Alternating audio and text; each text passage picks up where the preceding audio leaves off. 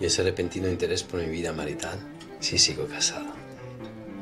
Aunque no con la misma mujer, siempre han sentido una necesidad malsana de vigilarme que creo que nunca podré entender.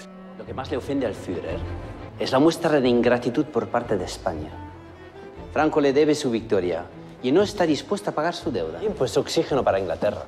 La toma de Gibraltar debe ser inmediata. Ya le he dicho que salía de un almuerzo en el Ministerio de Exterior. Tengo derecho a protegerme. ¿No se le ocurre quién? Usted quiere que haga su trabajo por usted.